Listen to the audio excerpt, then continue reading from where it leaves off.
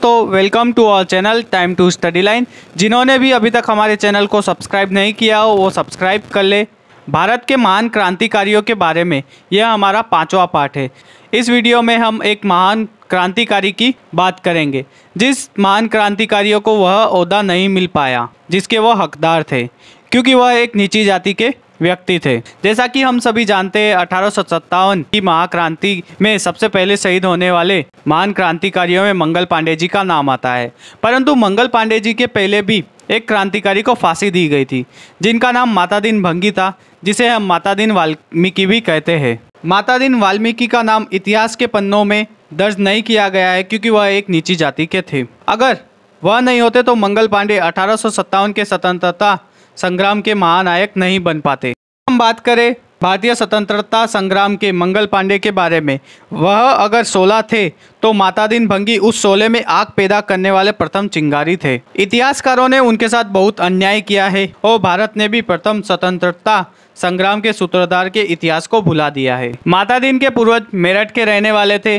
मगर वे नौकरी के सिलसिले में अंग्रेज़ों की तत्कालीन राजधानी कोलकाता में बस गए थे। वहाँ माता दिन बेरकपुर कारतूस फैक्ट्री में सफ़ाई कर्मी थे। अंग्रेज़ फौज के संपर्क में रहने से माता दिन भंगी को वहाँ की सारी गतिविधियों की जानकारी रहती थी। बैरकपुर छावनी कोलकाता से मात्र 16 किलोमीटर की दूरी पर थी। बैरकपुर छावनी के अंदर ही मंगल पांडे जी काम किया करते थे। फैक्ट्री में कारतूस बनाने वाले मजदूर मूसर जाति के थे। एक दिन वहाँ एक मुसर मजदूर छावनी में आया, जिसका नाम माता दीन भंगी था। माता दीन भंगी को प्यास लगी, तब उन्होंने मंगल पांडे नाम के एक सैनिक से पानी मांगा।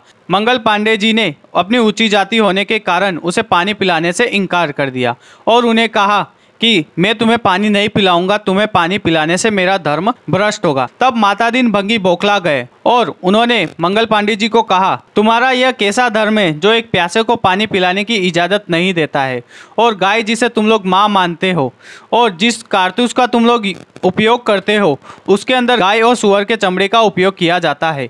तब तुम्हारा धर्म भ्रष्ट नहीं होता है। मंगल पांडे यह सब सुनकर चंकित रह गए। उन्होंने माता दिन को पानी पिलाया और इन सभी बातचीत के बारे में बेरकपुर के सभी सैनिकों को बताया। इस सच को जानकर सभी हिंदू मुस्लिम दोनों बुखला गए थे। यह सब बातें सुनकर मंगल पांडे के अंदर अंग्रेज़ों के प्रति विद्रोह की ज्वाला भड़क उठी।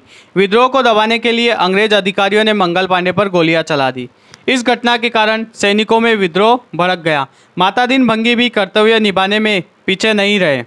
उन्होंने अंग्रेज़ों के रखे हथियारों, गोला बारूद और रसद ठिकानों का पता विद्रोही सिपाहियों को बता दिया और अठारह सौ सत्तावन की क्रांति में बड़े सहयोगी बन गए। बाद में अंग्रेज़ों ने भारतीय सैनिकों को विद्रोह के लिए भड़काने का मुख्य आरोपी मातादीन भंगी को माना और उन्होंने विद्रोहियों के खिलाफ एक चार्जशीट तैयार की जिसके अंदर सबसे ऊपर मातादीन भंगी का नाम था।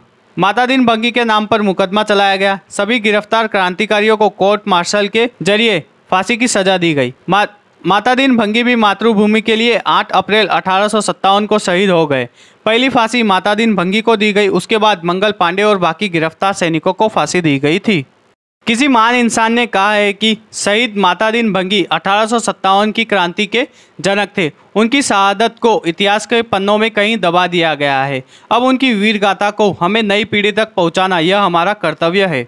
इसी प्रकार भारत के महान क्रांतिकारियों और भारत के बारे में जानकारी प्राप्त करने के लिए हमारे चैनल को लाइक, कमेंट और सब्सक्राइब कर दीजिए।